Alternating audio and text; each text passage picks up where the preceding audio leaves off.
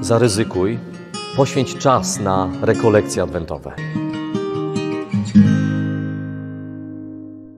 Z Ewangelii według świętego Łukasza.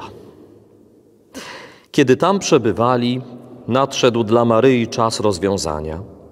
Powiła swego pierworodnego syna, owinęła go w pieluszki i położyła w żłobie, gdyż nie było dla nich miejsca w gospodzie. W tej samej okolicy przebywali w polu pasterze i trzymali straż nocną nad swoją trzodą. Wtem stanął przy nich anioł pański i chwała pańska zewsząd ich oświeciła, tak że bardzo się przestraszyli. I rzekł do nich anioł, nie bójcie się. Oto zwiastuję wam radość wielką, która będzie udziałem całego narodu.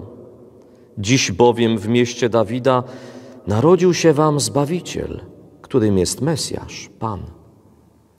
A to będzie znakiem dla was. Znajdziecie niemowlę owinięte w pieluszki i leżące w żłobie. I nagle przyłączyło się do anioła mnóstwo zastępów niebieskich, które wielbiły Boga słowami chwała Bogu na wysokościach, a na ziemi pokój ludziom, których sobie upodobał.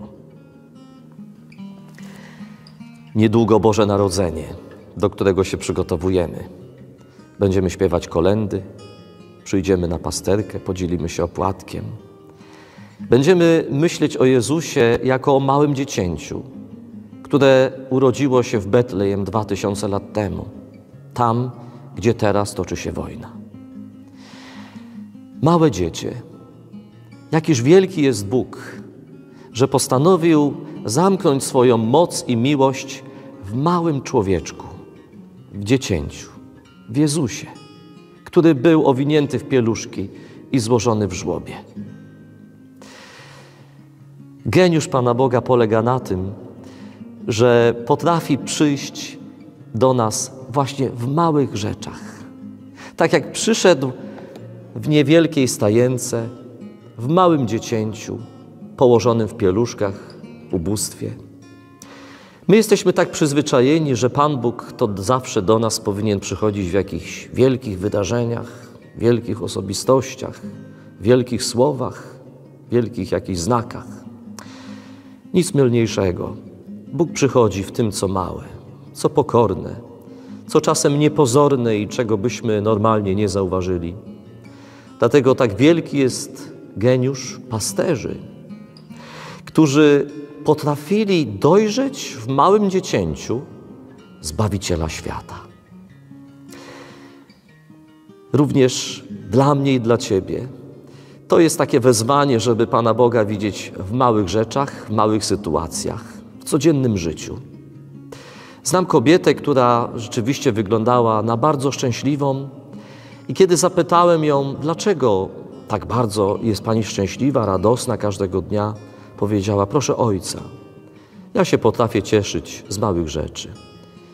Kiedy słońce świeci, kiedy inni ludzie się uśmiechają, kiedy wezmę różaniec do ręki i czuję obecność Matki Bożej, kiedy otworzę Biblię i czytam Słowo Boże, wiem, że Bóg do mnie mówi.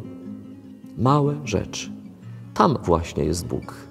Nie często w tym, co jest wielkie, bo na świecie jest bardzo wiele wielkich osób, znanych osobistości, ale Pan Bóg przychodzi czasem w tych małych rzeczach i w tych niepozornych osobach, które my byśmy, na które byśmy nigdy nie zwrócili uwagi. Dlatego dzisiaj proś Pana Boga, aby pokazał Tobie piękno w tym, co codziennie przeżywasz. Bo może czujesz, że Twoje życie takie jest przeciętne, takie zwykłe, takie szare może, ale ujrz, um, umiej dojrzeć właśnie w tej małości, w tej szarości. Piękno Boga, bo przecież Jezus tak właśnie się narodził. Tak łatwo nam widzieć Jezusa, który wiele razy na kartach Ewangelii chodzi po Galilei, nawraca, uzdrawia, głosi Słowo Boże. Łatwo nam takiego Jezusa widzieć, przyjąć i słuchać.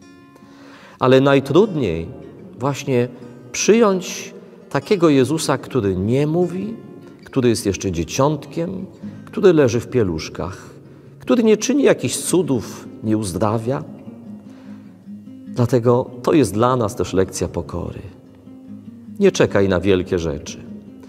Pan Bóg jest właśnie w tych małych rzeczach. Ja Tobie życzę z całego serca.